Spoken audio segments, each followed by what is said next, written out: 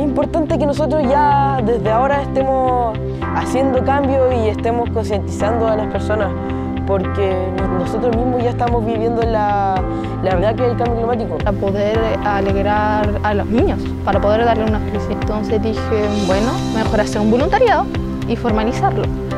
Y eso hice, empecé a los nueve años y empecé a meter a gente sin tomar en cuenta que se iba a transformar en esto, que son las batas blancas hoy en día. Y a pesar de que uno está enfermo, aún así quiere ayudar a los demás.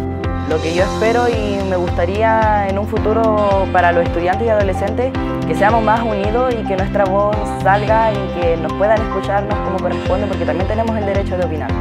Yo el mensaje que les daría como a todas esas personas, niños, adolescentes que han sufrido discriminación en sus colegios, en sus espacios personales, luchar.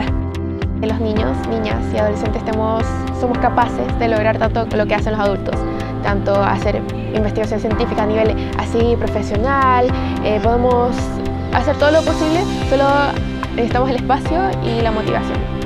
Sí, yo creo que los adolescentes podemos ser agentes de cambio. Que nos hagamos notar, que nos hagamos escuchar, porque nuestra voz es muy importante y nuestra opinión también. Porque a veces es difícil, pero sí se hace algún cambio. Creo que es importante que los estudiantes y adolescentes funcionemos como medios de cambio. Ser las voces de los estudiantes y así brindarles la confianza de que pueden hacer un cambio.